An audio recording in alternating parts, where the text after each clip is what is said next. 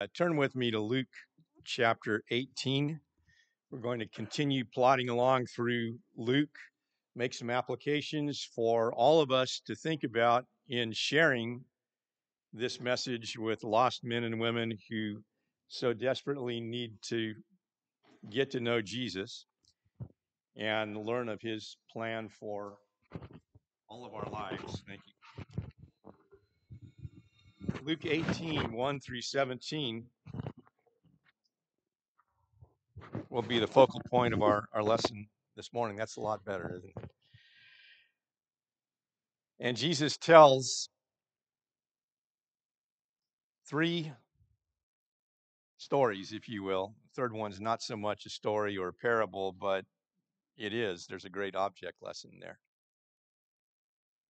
And behind all three behind all three, we learn something about attitudes in approaching God. I don't always go over this section with people. What I usually do when I'm studying with people who need to hear the gospel, need to be confronted with it, is I, I choose passages in the gospel account that will help build their faith and come help them come to a, a knowledge of of God and of Christ. And as we're plotting through the gospel according to Luke, for example, I often have them read two or three chapters on their own, and I pick a section, a paragraph, a couple of paragraphs, and we'll focus on that. I'll answer questions about anything that's in there. But I often don't cover this section. However, I think as you'll see, there are some valuable points to be made attitudes in approaching God. What does it look like to approach God? Well, it looks like a widow in desperate need. Persistence. It looks like a tax collector who needs repentance, humility. It looks like a little child who has childlike faith. And so the first two paragraphs contain parables and the function of, the, of a parable is to tease the listener into active thought. It tends to grab us by the neck and not let go until we think and think some more and think some more about the possible applications and intent. And then we have an object lesson of a little child in the third paragraph. So we'll take them one by one. First of all, the persistence of a widow who goes to an unjust judge and he, she won't take no for an answer. And he told them a parable to the effect that they ought always to pray and not lose heart. He said, In a certain city there was a judge who neither feared God nor respected man. And there was a widow in that city who kept coming to him and saying, Give me justice against my adversary. For a while he refused. But afterward he said to himself, Though I neither fear God nor respect man, yet because this widow keeps bothering me, I will give her justice, so that she will not beat me down by her continual coming. And the Lord said, Hear what the unrighteous judge says. And will not give God give justice to his elect who cry to him day and night? Will he delay long over them? I tell you, he will give justice to them speedily. Nevertheless, when the Son of Man comes, will he find faith on earth? Persistence, relentlessness, won't take no for an answer. Let's get one thing straight, very beginning. The real point of the analogy, the comparison in the parable, is not on the benefactor's side, but on the petitioner's side. God is not like this unjust judge. If anything, we have an argument from the lesser to the greater. That said, in the mystery of God's ways, with the veil of uncertainty on our end of that equation. There will be times when we have long periods of silence, even when we're persistent in prayer, in which we don't have an answer that comes down to us on a silver platter according to our own agenda on our own time frame. There was an elderly black minister who gave a one sentence interpretation to this whole parable, and I like it a lot. He said, Until you have stood for years knocking at a locked door, your knuckles bleeding, you do not really know what prayer is.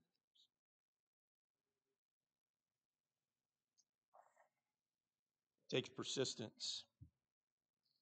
And make no mistake about it, God is not a cosmic ATM machine coming down on our terms, giving us instant gratification. Sometimes we have to wait. And sometimes God makes us wait. He's not an unjust judge, He's a just judge, but He still makes us wait. But the benefit of waiting is on our part, not on His. There's a whole vocabulary of words in the New Testament that pertains to the willingness to wait patience, perseverance, steadfast endurance, long suffering. But why would God make us wait? If we need something, we need justice, we need an answer, we need God to give us what we ask for in prayer. Why would He make us wait? many benefits to waiting. And the New Testament addresses several of them. I'm going to give you four. Number one, so we can learn to depend upon God as never before. If everything came easily to us, we would not learn dependence quite as much as we would when we have to wait. Hebrews 13, verse 6 says, so that we can confidently say, The Lord is my helper. I will not fear. What will man or what can man do to me? When we have to wait for answers to our prayers, we have to learn dependence. We ask and we ask again and we ask again and we depend because we have nowhere else to turn. And through that up and down process with hills and valleys, we learn that God is our only refuge and that in the end, He does answer. And we've learned to depend upon Him and no one or nothing else. And the willingness to wait also teaches us what a relationship with God is worth. Healthy relationships are like that. If every detail were neat and tidy, life would be somewhat predictable, maybe even boring. God wants to enter genuine give and take relations with us so that we have a, a real two way relationship. And when you have a real two way relationship with someone else, there are unexpected twists and turns, there are ups and downs, hills and valleys. And what those enable us to do is to get closer to God. Kind of like the stock market, it doesn't go up in a straight vertical line, there are troughs in between the high points. And so it is with our relationship with God through the twists and turns of, of this life. But we learn to value Him even more over time as we overcome various forms of adversity. And without the willingness to wait, we would never come to that full appreciation. When we have to wait, we are forced to reflect on how long God has waited for us. If you think that this is just one sided, think again. God, why don't you answer my prayer right here, right now, on my terms? It doesn't work like that. nor does it when God asks you something to do something.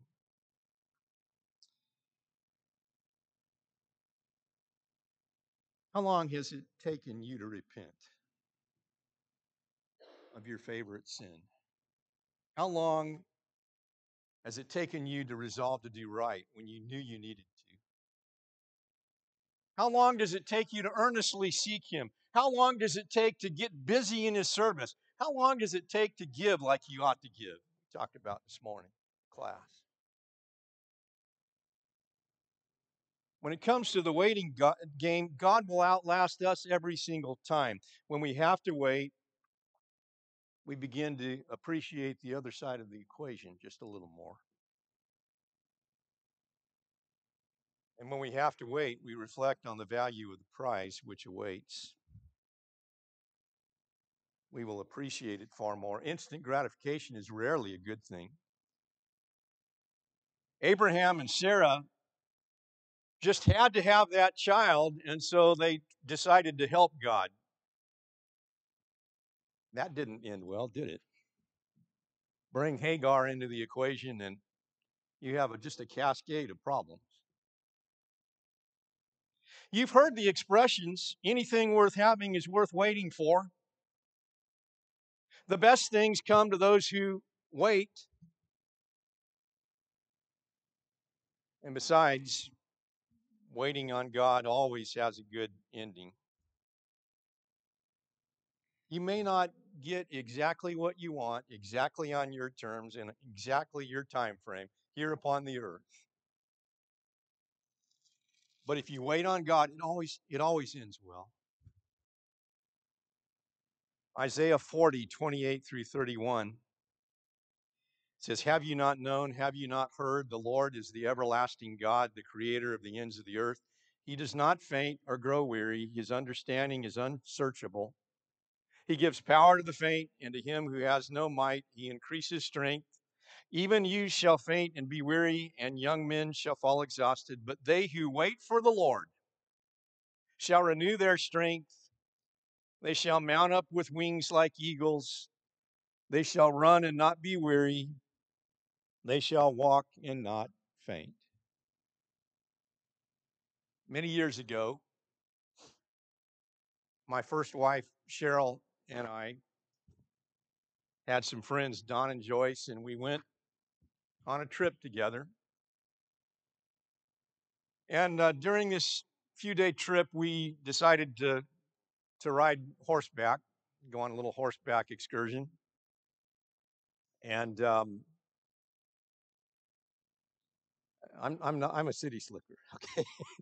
Okay, I've, I've never been uh, one that takes to horses, but uh, so you know they they give you the few minute spiel about what to do and what not to do, and uh, and then they put you on this beast. And uh, my horse was named Girl, and they probably should have named Girl uh, Old Gray Mare because Girl um, her get up and go got up and went. And what happened was Don, Joyce, and Cheryl and the guide, they were all, you know, in this pack here, this group. And then girl got farther and farther and farther by. and I tried to say all the right words of encouragement and kick her in all the right places and, and didn't get anywhere with that. Until we got to the halfway point. And then it was, whoa. I mean, there was this reserve tank that I didn't know existed. And girl tapped into that extra reserve. And not only did we span the gap, but uh, sped on to the point where I was I was really worried that uh, he was going so fast I might go perpendicular. In fact, I almost uh, almost uh, thought that I was you know perpendicular on the horse that jumping around so much, galloping because she knew she was going back to the barn.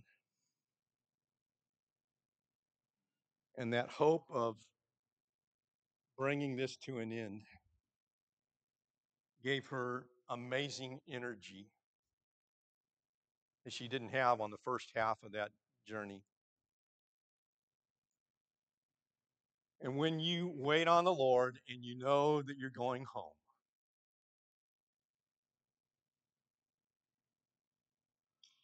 you can run and not be weary. You can walk and not faint.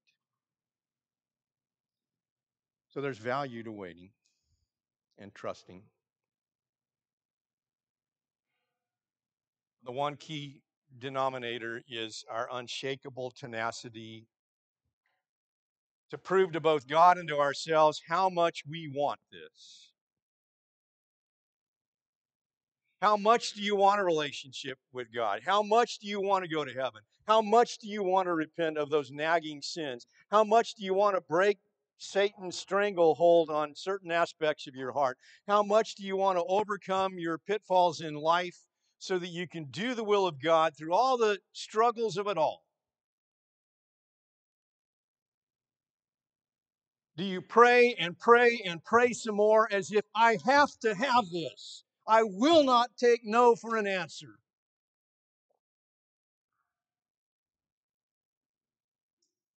And you're like that persistent widow who will never, ever, ever give up.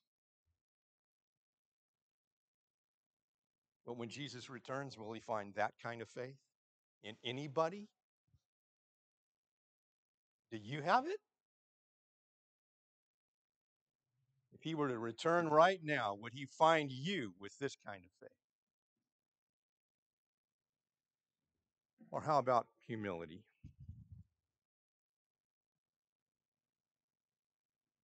Verse 9, he also told this parable to some who trusted in themselves that they were righteous and treated others with contempt. Two men went up into the temple to pray, one a Pharisee and the other a tax collector. The Pharisee, standing by himself, prayed thus God, I thank you that I am not like other men, extortioners, unjust adulterers, or even like this tax collector. I fast twice a week. I give tithes of all that I get. But the tax collector, standing far off, would not even lift up his eyes to heaven, but beat his breast, saying, God, be merciful to me, a sinner. I tell you, this man went down to his house justified rather than the other. For everyone who exalts himself will be humbled, but the one who humbles himself will be exalted.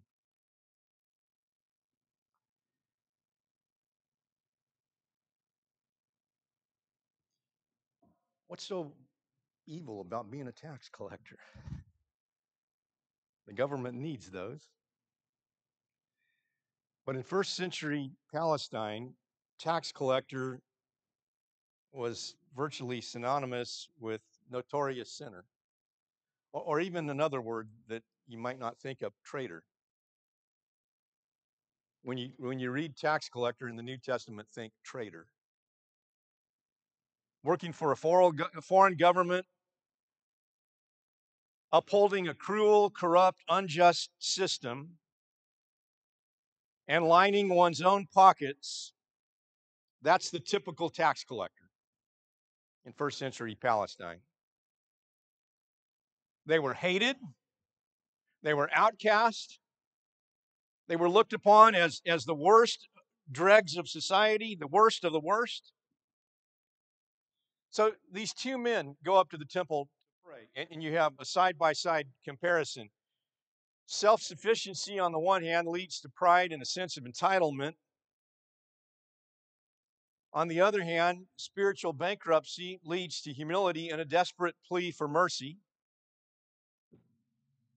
Side by side comparisons, they're, they're powerful. One man saw his need, the other did not.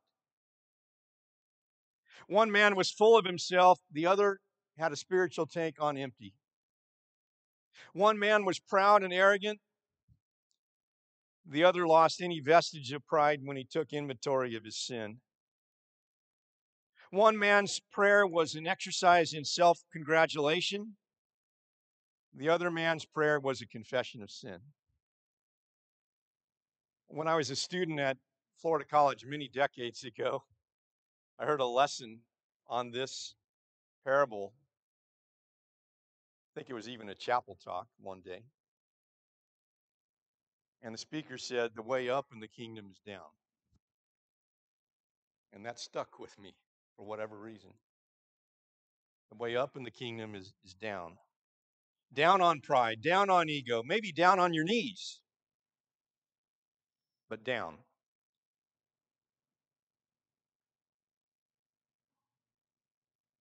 The man whom God justified saw his need and expressed it with his words, his demeanor. He didn't, didn't have to go down, he, he was already down.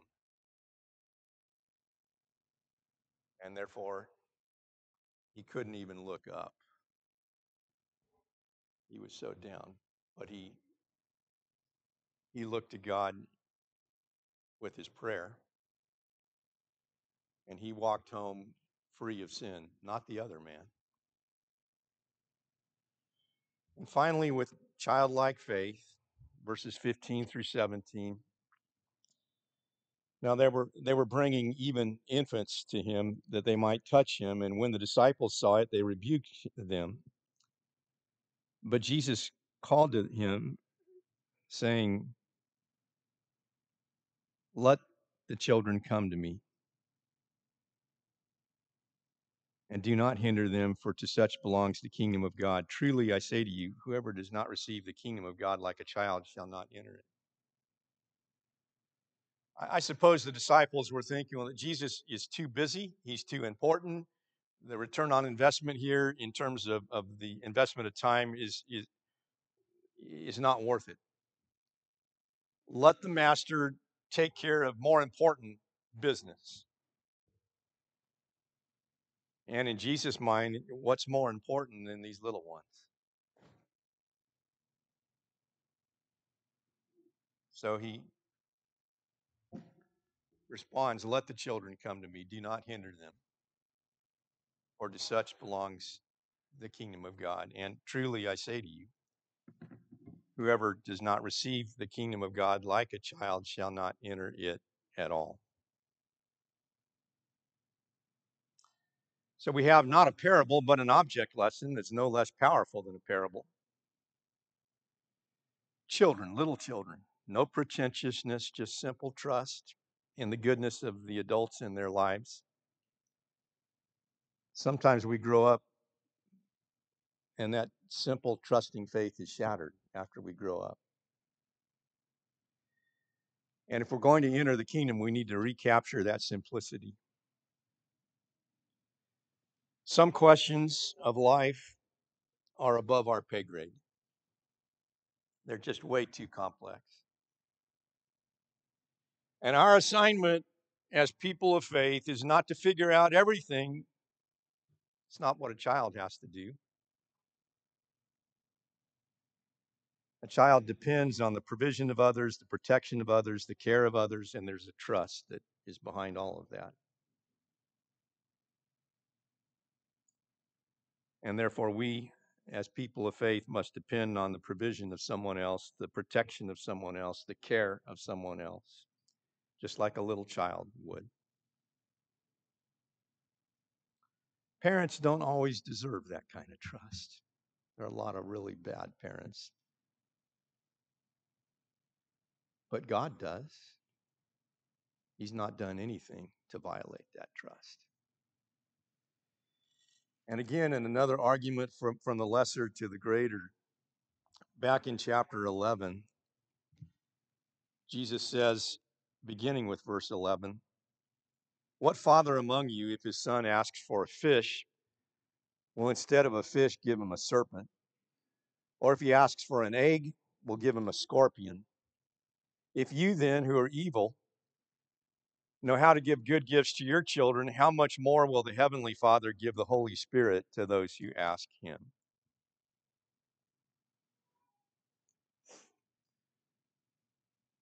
In terms of Holy Spirit, think of the agent of our connection to God.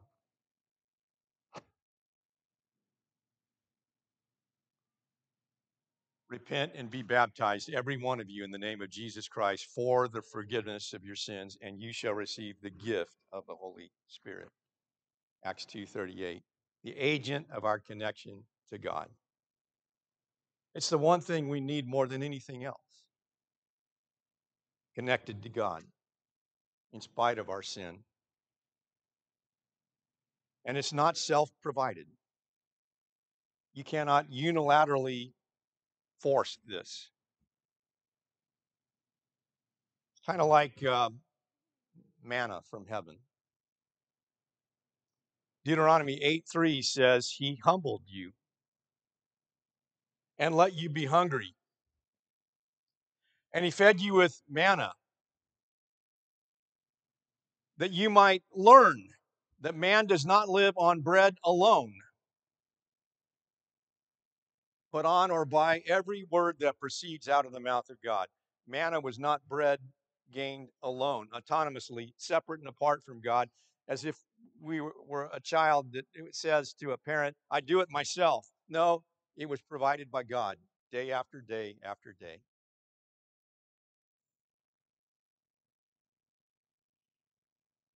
And so are the most important things in life provided by God. We don't earn them. We don't make provision for them ourselves. God does expect us to go out and be busy to earn a living, but but even at that, God open, opens up doors, these amazing doors of opportunity. God provides. God is behind all of our blessings, all of them, including the most important. So, what should our attitude about that be? Like a widow in desperate need who won't take no for an answer. I've mm. got to have this. And I'll keep barging and barging and barging because I've got to have God. I've got to have salvation. I've got to I've got to go to heaven. Or like a tax collector who says, God be merciful to me, the sinner. Or like that little child with simple, trusting faith. The nuts and bolts of approaching God are not, not handled so much here. Jesus has not outlined in, in systematic theological fashion hear, believe, repent, confess, be baptized. He's dealing with underlying attitudes that should drive those things our faith, our hope, our love. Our love for God with all the heart, all the soul, all the mind, all the strength. Or just being like a widow or a tax collector or a little child who exemplifies these characteristics on the screen.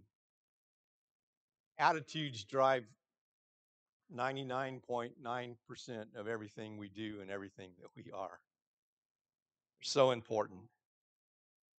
And if our attitudes are on the screen here, chances are we'll do what we need to be doing and be the kind of people that we need to be so that everything works out well in the end. And God will be able to bless us as His people. Are you subject to the invitation call of Jesus Christ? Can we help you in your obedience to the gospel? Or do you need to just come back to God on His terms? We're going to sing a song of invitation right now. And uh, this is to each of us to encourage every other person in the room.